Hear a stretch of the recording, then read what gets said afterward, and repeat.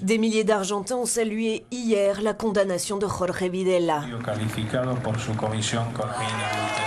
Réunis à Córdoba, une ville située à 800 km au nord de Buenos Aires, les proches et les familles de victimes de la junte militaire ont suivi le procès de l'ancien dictateur sur écran géant. À l'énoncé du verdict, la prison à vie, certains exultent. L'homme de 85 ans est reconnu coupable de crimes contre l'humanité et de l'exécution de ses opposants de gauche.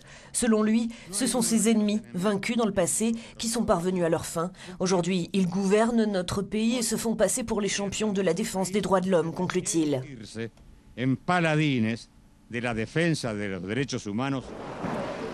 À ses côtés, sur le banc des accusés, 29 personnes également condamnées à la prison à vie pour le meurtre de 31 détenus politiques.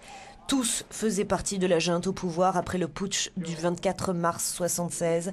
Jorge Videla restera à la tête du régime jusqu'en 81, les années les plus sombres de l'histoire argentine. 30 000 personnes sont alors portées disparues.